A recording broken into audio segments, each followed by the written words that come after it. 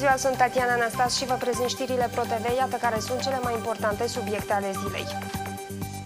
A crescut numărul de pacienți internați în secțiile COVID din spitalele din capitală la Institutul de Medicină Urgentă, urgentă spre exemplu, săptămâna aceasta cifra s-a majorat cu circa 40%. Cinci persoane au ajuns la spital din cauza unui șofer beat care a provocat un accident la Iedineț. Printre răniți se află soția conducătorului, dar și copilul lor de 2 ani. Un filmuleț trucat potrivit specialiștilor în care Maia Sandu ar primi un plic de la fugarul Ilanșor a fost publicat aseară de Jurnal TV. În spatele montajului video ar sta Vyacheslav Platon, care neagă acuzațiile. În ultimele patru zile, numărul pacienților spitalizați cu coronavirus a crescut cu circa 40%. Medicii susțin că sunt în creștere și cazurile grave atât la tineri cât și la vârstnici și atenționează oamenii să respecte măsurile de protecție ca să evităm un nou val de infectări. La începutul lunii august, în spitalele din țară erau internați peste 250 de pacienți. În doar patru zile, numărul bolnavilor a trecut de 400. Medicii de la Institutul de Medicină Urgentă din capitală, unde de la începutul pandemiei sunt internați pacienți cu coronavirus, Susțin că în ultima săptămână este în creștere și numărul pacienților care fac o formă gravă a bolii. La moment sunt internați 52 de pacienți, dar de la o zi la alta cifra uh, pacienților testați COVID-19 crește. Pacienți de vârstă tânără și pacienți deja, bineînțeles, trecuți de vârsta de 60 de ani, sunt uh, pacienți în stare extrem de gravă, dar și pacienți în formă mai ușoară. La centrul COVID de la Moldexpo sunt internate 70 de persoane, dintre care 20 sunt suspecte la coronavirus. Medicii sunt îngrijorați de faptul că în ultima perioadă se ateste un număr mai mare de îmbolnăviri și îndeamnă oamenii să nu se relaxeze. Se respectă sau nu tocmai? Nu. Sunt nesimțiți. Păi cred că la noi lumea până nu bate la buzunar o amendă, nu se gândește ce poate fi. Când a fost instituit cod portocaliu de alertă epidemiologică, autoritățile au anunțat că militarii și carabinierii din nou vor patrula în stații ca să monitorizeze dacă oamenii poartă mască de protecție în străzi și în spații aglomerate. Astăzi însă, la stațiile de așteptare din oraș, nu am observat pe nimeni care ar atenționa oamenii. Purtătorul de cuvânt al Ministerului de Interne nu ne-a răspuns la telefon ca să ne spună de ce nimeni nu monitorizează dacă se respectă măsurile de protecție. Și în alte localități din țară crește numărul pacienților infectați internați în spitale, cum ar fi la Bălți, Cahul, Soroca și Ceadărlunga. Cinci persoane, printre care și un copil de 2 ani, au ajuns aseară la spital după ce mașina în care se aflau s-a izbit într-un copac la Iedineț. S-a întâmplat după ce tatăl micuțului care conducea mașina beat a pierdut controlul volanului în timp ce intra într-o curbă. Pe marginea cazului a fost pornită o anchetă. Din imaginile făcute publice de oamenii legii se vede că partea din fața mașinii a fost distrusă practic în totalitate. Vinovată de producerea nenorocirii se face șoferul automobilului, care din spusele poliției avea o concentrație de 1,07 mg per litru de alcool în aerul expirat, ceea ce înseamnă de 5 ori mai mult decât limita admisibilă. Conducând mijlocul de transport de marca Volkswagen, fiind în stare de ebrietate alcoolică, în curbă pierdut controlul asupra volanului. În consecință, mașina Mașina în care se aflau cele cinci persoane s-a izbit violent într-un copac. Toate persoanele aflate în mașină au fost transportate de urgență la spitalul din Edineț. Bărbatul de 32 de ani care era la volan, soția lui de 29 de ani, dar și copilul lor de 2 anișori au fost grav răniți. Șoferul grav, e despre grav, cu traumatism craniu-cerebral, fractură de coaste. Ceilalți cu moții cerebrale, cu plăgi în regiunea capului. Ceilalți doi pasageri nu au fost internați în spital. Pe acest caz, se petrec toate acțiunile necesare necesare într-o stabilire a tuturor circunstanțelor și primirii unei decizii legale. În doar jumătate de an, pe teritoriul țării s-au produs 70 de accidente rudiere provocate de șoferi în stare de ebrietate alcoolică. În consecință, 10 persoane și-au pierdut viața, iar în jur de 80 s-au ales cu diverse traumatisme. Andrei Iriciuc, ProTV. Un filmuleț video în care ar apărea Maia Sandu alături de fugarul Ilan Șor a fost publicat aseară de Jurnal TV. În imaginile care ar fi fost montate de oamenii lui Vyacheslav Platon, Șor îi transmite un plic unei femei care are echipul președintei. Maia Sandu și Șor susțin că videoul este un fake. Platon respinge acuzațiile precum că el ar fi pus la cale o campanie de denigrare împotriva președintei, iar procuratura spune că nu s-a autosesizat și că așteaptă ca cineva să depună o plângere, plângere pentru a porni o anchetă.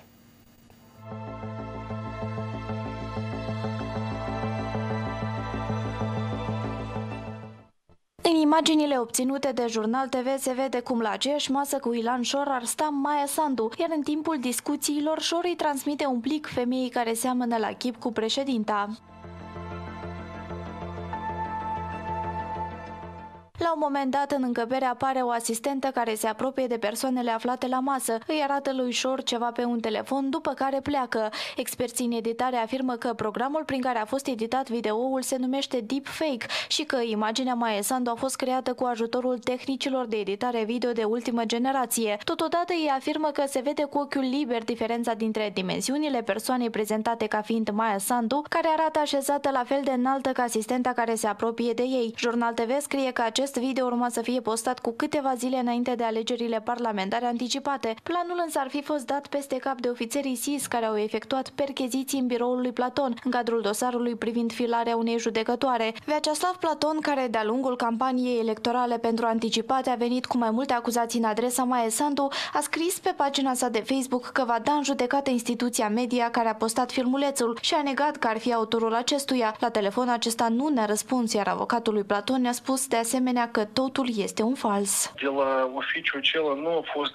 ridicat niciun calculator. Nu există proces verbal de ridicare a vreunui suport de păstrare informației. Și chiar dacă Platon avea, presupunem teoretic, astfel de secvențe, nu încurca nimic să, să, fiu, să fiu publicați înainte de alegeri. Unde este acum domnul Platon și când va reveni în țară? Nu o să revenim cu reacție la acest uh, capitol. Fugarul Ilan Șor, condamnat pentru fraude la BEM, a criticat pe pagina sa de Facebook calitatea montajului video în care apare. Asta în timp ce în campania electorală pentru prezidențialele din octombrie anul trecut, însă și Șor apare într-un montaj video asemănător. Когда мы пришли в Аргиев 2000... Bună ziua! Purtătorul de cuvânt al Maie Sandu ne-a spus că videoul este fals și că în astfel de situații este nevoie de implicarea statului, inclusiv prin reglementări de ordin legislativ, însă nu a precizat dacă va depune o plângere la procuratură. Procurorii afirmă că nu există temei să se autosesizeze în baza filmulețului și că o anchetă ar putea fi pornită doar dacă cineva va depune o plângere în acest sens. Oamenii legii ne-au spus că până în prezent nimeni nu a venit la ei cu un astfel de demers. Vyacheslav Platon a părăsit Republica Moldova pe 18 iulie, iar Acum el are la dispoziție mai puțin de 10 zile pentru a reveni în țară. În caz contrar, va fi dat în căutare, iar pe numele lui va fi emis un mandat de arest. În 2017, controversatul om de afaceri a fost condamnat la 18 ani de închisoare pentru că ar fi obținut aproximativ un miliard de lei de la BEM. În mai 2020, procurorul general a declarat că Vyacheslav Platon ar fi fost condamnat ilegal în dosarul furtului miliardului și că procurorii ar fi falsificat mai multe probe. După două săptămâni, Platon a fost eliberat, iar acum o lună magistrat magistrații l-au achitat în dosarul fraudei bancare la cererea procurorilor. La un an și opt luni de când a ajuns în judecată, dosarul în care fostul deputat PD, Constantin Țuțu, este învinuit de escrocherie și spălare de bani, bate pasul pe loc. Ședința de astăzi a fost amânată din motiv că judecătorii întârziau la o altă ședință. Venit în instanță, fostul democrat a refuzat să ne spună din ce surse trăiește și dacă lucrează undeva, dar a declarat că pledează nevinovat. Ce se ocupă domnul Ciucu astăzi? Faci sport. Fostul deputat PD a refuzat să ne spună de unde ia bani pentru a se întreține și a menționat că va reveni mai târziu cu declarații în acest sens. Ședința de astăzi a fost amânată pentru mijlocul lunii august. Judecătorul a spus că au o ședință la 11 și deja întârzi.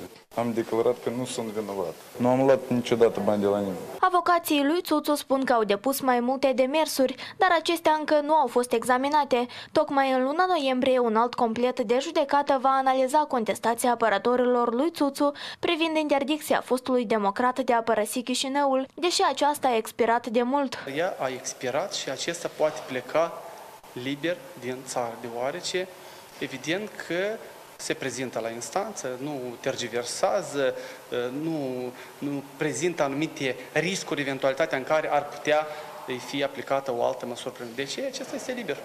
Nu vă pot spune. Noi am depus până la moment șase cereri și încă foarte multe sunt uh, în așteptare depunerilor, deoarece, vă zic, tot actul procesual uh, întocmit este viciat din start. Constantin Țuțu este învenuit de escrocherie și spălare de bani. Potrivit procurorilor, acesta ar fi primit 20.000 de euro de la rudele unui bărbat aflat în arest pentru a influența decizia procurorilor de alt elibera. În 2016, când la putere era Partidul Democrat, Țuțu a fost achitat în dosarul omorului lui Alexei Veretco. Inițial, acesta a fost învinuit de complicitate, însă după ce unul dintre inculpați și-a asumat vinovăția, Țuțu a rămas să fie cercetat pentru huliganism, după care a fost scutit de responsabilitate. Fostul deputat a părăsit Republica Moldova după ce acum doi ani democrații au cedat puterea. În martie anul trecut, Țuțu a revenit în țară și s-a predat procurorilor la Vama Leușeni Albița, fiind dat în căutare de Interpol. Fostul deputat PD este cercetat penal și în Rusia pentru trafic de droguri, în dosar fiind vizat și Plahotniuc. Anterior, Țuțu a refuzat să comenteze învinuirile aduse de oamenii legii ruși și a declarat că nu știe detalii despre dosar. Procuratura Generală este obligată să reia investigațiile în cazul numirii ilegale a lui Boris Lupașcu în funcția de președinte al Curții Constituționale și demiterea domnicăi Manole. Decizia a fost luată de Curtea de Apel, iar responsabilii de la Procuratura Generală ne-au spus că se vor conforma. Pe 23 aprilie, deputații PSR Meșor l-au numit pe Boris Lupașcu în funcția de judecător la CC. Decizia a fost însă contestată la Curtea Constituțională de către cei de la PAS și declarată neconstituțională. Reprezentanții Reprezentanții Partidului Acțiune și Solidaritate au depus o sesizare în acest sens și la Procuratura Generală, cererea însă a fost respinsă. Deși încă nu știu dacă din toamnă lecțiile se vor desfășura în regim online sau cu prezența fizică, administrațiile instituțiilor de învățământ din capitală s-au apucat de reparație. În sălile de clasă au fost făcute lucrări cosmetice pentru ca la 1 septembrie elevii să aibă parte de cele mai bune condiții. O parte din bani au fost alocați de primărie, în timp ce restul au fost coși din buzunarele părinților.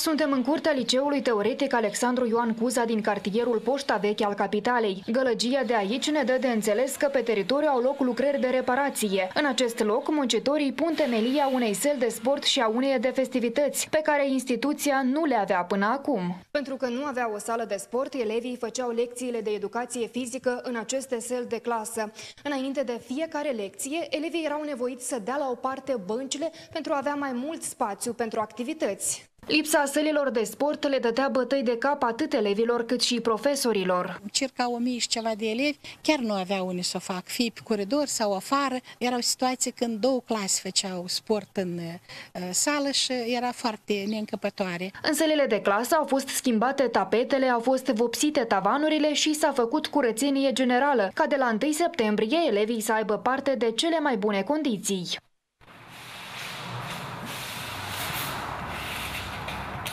Așa arăta astăzi sala în care vor învăța elevii clasei a doua. Aici pereții încă sunt jerpeliți, semn că încă se lucrează. Tavanul este renovat totalmente, pereții sunt renovați totalmente iluminarea va fi instalată.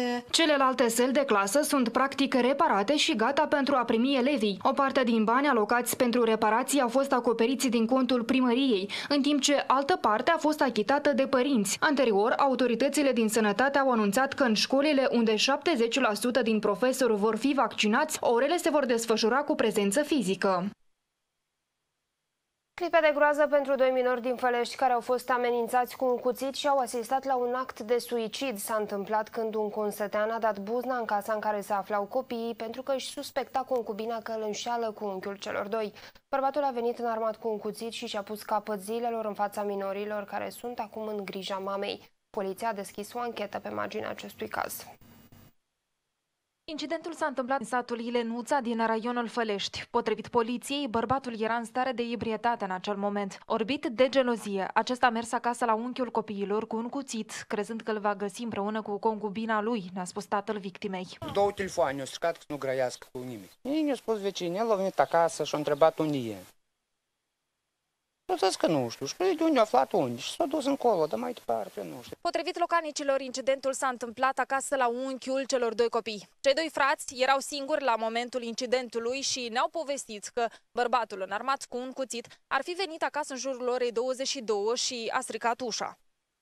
Poliția a fost alertată de către concubina bărbatului, iar când oamenii legii au ajuns la fața locului, acesta s-a sinucis. Totul s-a întâmplat sub privirile îngrozite ale celor doi adolescenți, care astăzi au fost consultați de asistenta medicală din sat. Ala mic o zis că un pic s-o speriat. Copiii îndrăzneți, nu s-o speriat așa. Dacă mama uh, vede că copiii ceva nu e regulă, e duce la neuropatolog, la medic de familie. Localnicii spun că bărbatul nu era agresiv. Nu a fost băiet rău, nu a fost un băiet distrabalat, a fost cu minte, a lucrat, o să duce pe la Bălți, pe la Chișinău, a lucrat pe tot locul.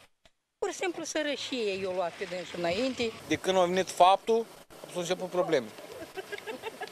S-au început probleme, asta e lege. E își deșambla cu cine știe unde, eu o revnoie, el îmbla după dânsa. Nu am reușit să vorbim cu mama copiilor și nici pe concubină nu am găsit-o în sat. Asistentul social din Ilenuța ne-a spus că îi va consulta pe cei doi adolescenți dacă mama lor va solicita acest lucru. Potrivit psihologilor, astfel de experiențe traumatizante pot avea consecințe asupra psihicului unui copil. Ca rezultat putem avea trei tipuri de trăiri emoționale. Unu, neputința, care poate să afecteze comunicarea, viața socială, procesul de învățare.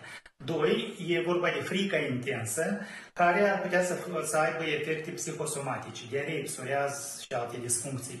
Și trei, vulnerabilitatea față de protecție. Specialistul recomandă consultații la psiholog și cât mai multă comunicare. Să organizeze consultații cu psihologul care le ajută copiilor să prelucreze trauma, să nu o uite, ci să o asimileze, ea să devină un istoric. Doi, să vorbească cu copiii despre cele întâmplate, să nu evite subiectul, să-și spună părerea de rău că copiii au fost nevoiți să asiste la așa ceva. Trei, să le vorbească copiilor despre viitor, să întrebe despre planurile copiilor, visele lor. Potrivit poliției, pe acest caz a fost pornită o anchetă care să elucideze toate circumstanțele.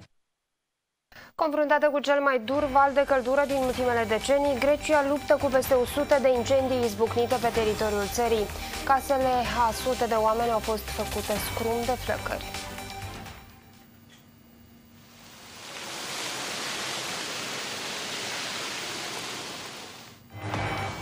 Care este situația în Turcia și în sudul Italiei, unde la fel există încă zeci de focare, aflați în jurnal.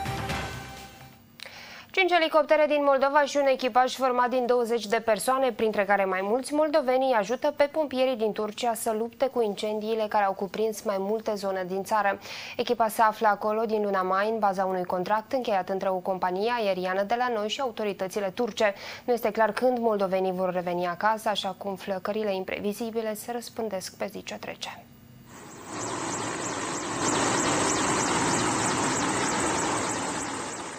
Echipa construită din 26 de persoane se află acum în regiunile Marmaris și Manavgat de lângă Antalya. Oricând însă, echipajul poate fi trimis în alte locații din țară, așa cum focul este imprevizibil. Este mult de lucru. Acolo lucrează mijlocici helicoptere și aeronave, plus și personal terestru care să, care să luptă tot asta. Dar din cauza temperaturilor și vânturilor, e complicat acum de localizat acest, acest incendiu personalul nostru a plecat acolo să execute nemijlocit ceea ce știu mai bine să fac. Potrivit directorului companiei, un echipaj este format din trei piloți și doi ingineri care au grijă de starea tehnică a elicopterului, iar majoritatea sunt moldoveni. În aceste imagini este surprinsă o aeronavă moldovenească în timp ce se aprovizionează cu apă dintr-un bazin artificial, amplasat în zona în care poate izbucni focul. O sursă de apă este și marea, dar și bazinele acvatice naturale. Membrii echipajului sunt cazați în hotelurile din preajmă, ne-a spus directorul companiei. De pe 1 mai, echipa se află în Turcia, în baza unui contract încheiat între companii companie și autoritățile turce, iar cel mai probabil va reveni acasă abia în octombrie. Compania oferă astfel de servicii din 2013 și a încheiat contracte în țări precum Indonezia sau Afganistan. Ministerul de Externe de la Chișinău afirmă că monitorizează activitatea acestora și le oferă asistență la nevoie. Conform ambasadei Republicii Moldova la Ankara, echipajele de zbor sunt compuse din cetățenii Republicii Moldova și ai Ucrainei, iar toate cele 26 de persoane, membri ai echipajului, sunt în siguranță. Potrivit autorităților, de la sfârșitul lunii iulie, de când au izbucnit incendiile, au fost recepționate zeci de apeluri la linia de urgență a Ambasadei Republicii Moldova din Turcia. Totodată, un grup din șapte moldoveni a contactat misiunea diplomatică în vederea organizării repatrierii din Marmaris. Deja de o săptămână, focul continuă să facă ravagii lângă Marmaris și Bodrum, Manavgat, Alania și Antalya. Mii de hectare de păduri au fost arse, opt persoane au murit, iar peste 850 au fost rănite. În fața unei creșteri îngrijorătoare a numărului de cazuri de coronavirus, Israelul revine la o parte din măsurile aplicate în timpul primelor valuri ale pandemiei. Sectorul privat este îndemnat să lucreze de acasă, iar masca va fi din nou obligatorie în aer liber în locurile aglomerate. Între timp, Franța anunță că din septembrie va imuniza persoanele vârstnice cu a treia doză de vaccin. Președintele francez Emmanuel Macron a confirmat astăzi că guvernul se pregătește pentru introducerea celei de-a treia doze de vaccin împotriva COVID-19 pentru unele categorii de persoane. Et nous le ferons à partir de la rentrée. Donc oui, vraisemblablement une troisième dose et plutôt pour les plus fragiles et plus, les plus âgés à ce stade. Et on apprend à chaque étape. Macron anunțase luna trecută o campanie de rapel la cele două doze de vaccin pentru cei mai vulnerabili, la fel ca alte țări, cum ar fi Israel. Asta deși Organizația Mondială a Sănătății a îndemnat statele să amâne imunizarea cu a treia doză pentru ca de acestea să poată beneficia țări care și-au vaccinat doar o parte a populației. Președintele Franței a anunțat anterior că ia în calcul imunizarea obligatorie pentru toată lumea, iar acest subiect îi scoate și astăzi pe oameni în stradă la protest. Între timp, tot mai multe state reactivează măsurile anticovid aplicate în primele valuri ale pandemiei. Autoritățile din orașul australian Melbourne au anunțat că se pregătesc de un al șaselea lockdown, pe măsură ce numărul infectărilor crește. Localnicii, nemulțumiți de decizie, au organizat un meeting. Iar peste ocean, New Yorkul va deveni de luna viitoare prima metropolă americană unde numai cei vaccinați vor avea acces în restaurante ori săl de sport. Mai puțin de jumătate din populația Statelor Unite e complet vaccinată, iar numărul celor spitalizați a depășit 50.000 de pacienți pentru prima oară după februarie. La nivel mondial, bilanțul infectărilor a trecut ieri de 200 de milioane. Jumătate dintre aceste cazuri au fost raportate în doar șase luni, potrivit datelor publicate de Reuters. Până în prezent, pandemia pandemia a provocat peste 4,4 milioane de decese. Ambasadorul Uniunii Europene în Republica Moldova, Peter Mihalco, și-a anunțat plecarea de la Chișinău. Mandatul acestuia s-a încheiat, iar din toamnă în locul lui va veni ambasadorul Ianis Mazeic. Mihalco a anunțat că din Moldova va pleca în Azerbaijan, unde va fi noul șef al delegației Uniunii Europene. El a fost numit ambasador al UE la Chișinău în 2017. Păreri împărțite printre experții politici în ceea ce privește componența și structura următorului executiv. Unii afirmă că ministerele divizate erau greu de administrat până în prezent, așa cum cuprindeau prea multe domenii, însă cred că unele instituții au fost divizate greșit. Alți analiști spun că vom putea evalua cabinetul de miniștri peste câteva luni, având în vedere că sunt și candidați fără experiență de a guverna aceasta este bună, pentru că domenii întregi au rămas pur și simplu delăsate. Cum este domeniul mediului, care practic nimeni nu se ocupa, au rămas foarte puțini oameni și la nivel politic înalt nu se atrage atenția și exemple de acestea mai sunt. Totuși, Valeriu Pașa consideră că unele instituții nu au fost divizate corect. Cred că felul în care a fost separat Ministerul Economiei nu este deloc unul potrivit, deci s-a dorit uh, nominal crearea unui minister mai mic, în loc de asta s-a creat un minister și mai mare. Acest minister a infrastructurii va avea responsabilități mult mai mari decât avea chiar fostul Ministerul a Economiei și Infrastructurii. Și eu cred că și asta ar trebui să fie în mod firesc separat. Experții afirmă că doar după câteva luni va fi clar dacă cei desemnați corespund funcțiilor. Ei sunt specialiști în domeniu, dar una să fii bun specialist, tot altceva lucrez într-o instituție de stat care are anumite reguli rigide, reguli birocratice. De aici trebuie să respecte niște proceduri clare. Ceea ce probabil la început se va resimți, pentru că unii ministri care se regăsesc uh, actual în guvern, ulterior au fost parte al guvernului Sandu și uh, la ei s-a văzut această lipsă de experiență instituțională guvernamentală. Nu cred că uh, ministerele își vor mai schimba șefii pe parcursul următorilor patru ani. Presupun că undeva la jumătate de an, șapte, opt luni de zile se va face o evaluare și unii miniștri vor pleca, vor veni alții. Specialiștii în domeniul politic mai spun că noua funcție de vicepremier pentru digitalizare este un pas important pentru Republica Moldova. Într-o lume a IT-ului, o lume în care tot se digitalizează. Eu cred că Republica Moldova, fiind stat mic, anumite resurse, cred că domeniul IT-ului ar trebui să fie unul pe care trebuie depus accent pentru dezvoltarea Republicii Moldova. Până la urmă, este în trend cu acele schimbări la nivel internațional. Guvernul propus ieri de Natalia Gavriliță include 13 ministere și nu 9 cum era până acum. În 2017, când executivul era condus de democratul Pavel Filip, numărul ministerelor s-a micșorat de la 16 la 9. Un deputat de la PAS renunță la mandat și rămâne în funcția de consilier în CMC. Locul acestuia în Parlament va fi ocupat de un alt membru al Partidului Acțiune și Solidaritate, care a candidat la alegerile anticipate pe listele formațiunii. Decizia mea este să rămân în Consiliul Municipal Chișinău ca peste 2 ani și jumătate să venim și cu mai multe reușite ale consilierilor din cadrul Consiliului Municipal Chișinău. Pe de altă parte, patru consilieri de la PAS pleacă din CMC pentru fotoliile de deputat. În locul lor vin un alt consilier de la PAS și trei de la platforma DA Formațiuni care au intrat în CMC într-un bloc electoral comun. Postul judecător ucrainean Nicolae Ceaus a fost plasat în arest la domiciliul său de la Kiev, fiind obligat să poarte o brățară electronică. Decizia a fost luată de Curtea Supremă Anticorupție din Ucraina după o ședință care a durat 8 ore.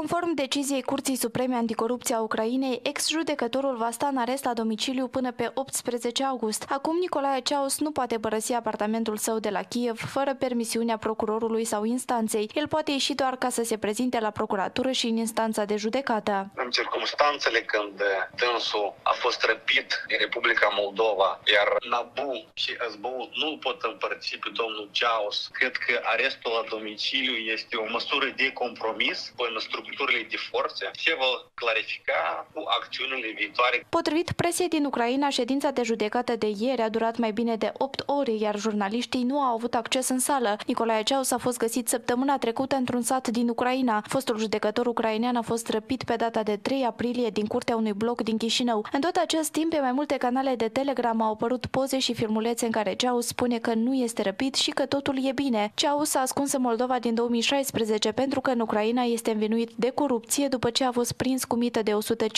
150.000 de dolari ascunse în borcane, îngropate în pământ. Acesta a fost reținut în 2017 la Chișinău după ce s-a predat poliției, recunoscând că a trecut ilegal frontiera. Organizația militantului belarus găsit spânzurat la Kiev acuză regimul de la Minsk de moartea acestuia. Prietenii lui Vitali Șișov spun că nu există niciun dubiu că a fost o operațiune planificată pentru a lichida o persoană cu adevărat periculoasă pentru Alexandru Lukashenko. Anchetatorii ucraineni spun că activistul avea semne de moarte violentă. Vitali Șișov era directorul organizației Casa Belarus în Ucraina, care furniza sprijin persoanelor care fug de represiunea din Belarus. Dată dispărut după ce ieșise să facă jogging luni dimineață, el a fost găsit spânzurat marți într-un parc din Kiev, nu departe de casă. Это была казнь. Подлая, мерзкая казнь человека, который достоин большего, чем любой из тех товарищей, которые служат режиму Александра Лукашенко. Я уже, опять же повторюсь, это была показательная казнь для того, чтобы запугать всех активных людей в Украине. Poliția a deschis o anchetă pentru omor cu premeditare și a spus că ia în calcul toate pistele. Una dintre variantele examinate este cea privind crima camuflată în sinucidere. У нього на той момент те, що визначено, це ссадини, просто здерта шкіра на носі, е, на е, лівому коліні і на грудях.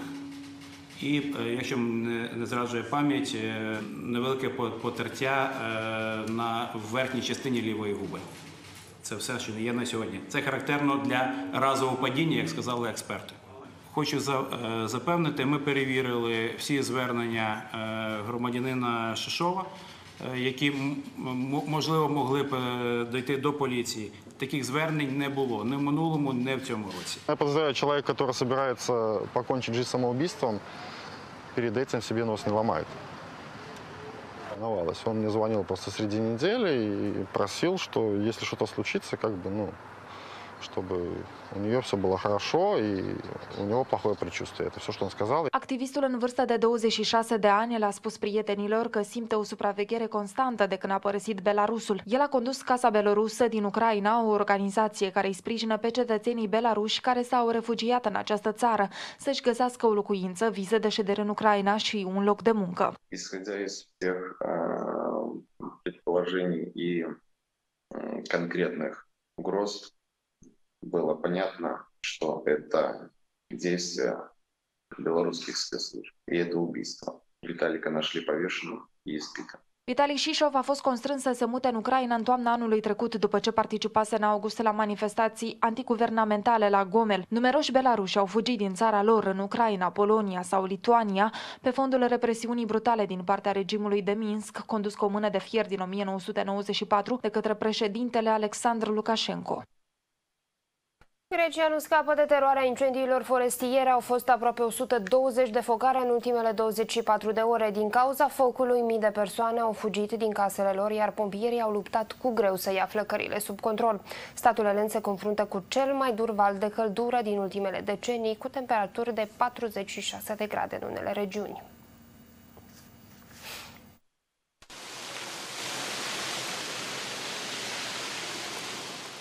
S-a înroșit cerul deasupra insulei Evia, aflată la o distanță de 200 de kilometri de Atena. Norul de fum dens a făcut aerul de nerespirat. Într-o pădure de pini, flăcările au depășit 40 de metri înălțime. O mănăstire și mai multe sate de pe insulă au fost înconjurate de foc. Flăcările au continuat să crească necontrolat în partea de nord a insulei, pe trei fronturi mari, în ciuda bătăliei duse de pompieri. Astfel, evacuarea localnicilor a fost iminentă. Mulți dintre ei au fost urcați în bărci și duși cât mai departe de pericol. Pe de altă parte, incendiul care amenința ieri Atena a bătut în retragere, însă până nu s-a domolit vântul, pompierii n-au avut nicio șansă să oprească înaintarea flăcărilor. În calea lui, focul a transformat în cenușă o zonă de camping, dar și un transformator, de care depinde alimentarea cu electricitate a peste jumătate de milion de oameni, întorși în cartierele evacuate. Mulți greci au găsit doar ruine fumegând. Cria! Ce o de asta doi să și first saw the fire around noon. At that point, the fire was high up on the mountain. I left for a little while to do some chores and I came back, and the police wouldn't let me get through. Dezastrul din nordul Atenei s-a produs pe fondul unor temperaturi record pentru Grecia, 46,3 grade Celsius înregistrate de stația meteo din Atena. În tot acest timp, Turcia a intrat în cea de-a noua zi de luptă împotriva incendiilor forestiere. Pompierii fac eforturi intense pentru a controla flăcările.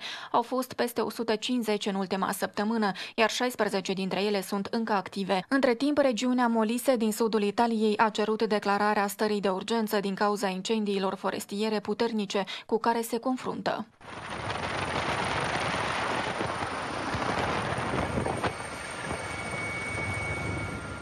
Flăcările nu s-au domolit nici în Sicilia. Autoritatea pentru protecția civilă a încadrat întreaga insulă la cel mai înalt nivel de risc pentru incendii. Maxime de 40 de grade Celsius au fost preconizate pentru orașele Palermo și Catania. S-a dat alarma în Cuvei după ce un depozit de anvelope uzate a fost cuprins de flăcări cu o suprafață de 25.000 de metri pătrați. Este considerat cel mai mare depozit de acest fel din lume.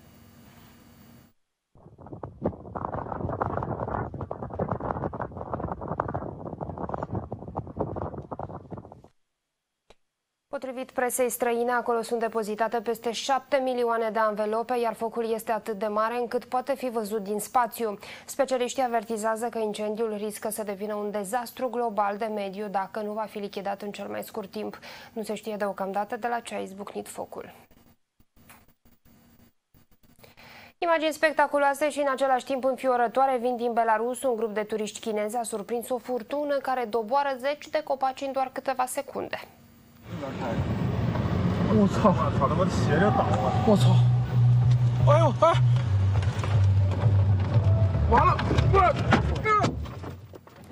În imagini se vede cum vântul smulge cu ușurință copacii din rădăcini. Turiștii nu au avut de suferit deoarece mașina în care se aflau s-a oprit pe marginea drumului, iar ei au așteptat furtuna să treacă. Potrivit presei ruse, imaginile au fost surprinse marți seara în regiunea Vitebsk, dar au fost afectate și alte localități. Imagini haioase vin din Rusia. O pisică a reușit să pună pe fugă un urs care s-a apropiat de un grup de persoane care se odihneau în pădure. Вася, успокойся! Вася! Не надо, Вася! Imaginile ajunse virale pe internet arată pisica înfoiată cu spatele și coada arcuite de parcă ar fi pe poziția de luptă. Ursul părea nedumerit de curajul felinei. Motanul a rămas ferm pe poziție chiar și atunci când ursul s-a ridicat pe picioarele din spate. După câteva minute însă uriașul brun a plecat, dar pisica a rămas pe loc până s-a asigurat că acesta a dispărut în pădure. Doamnelor și domnilor, acestea au fost știrile. Dacă aveți informații care pot deveni o știre, puteți să ne contactați la orice oră la numărul de telefon 0222 Eu vă spun la revedere și vă doresc o seară frumoasă.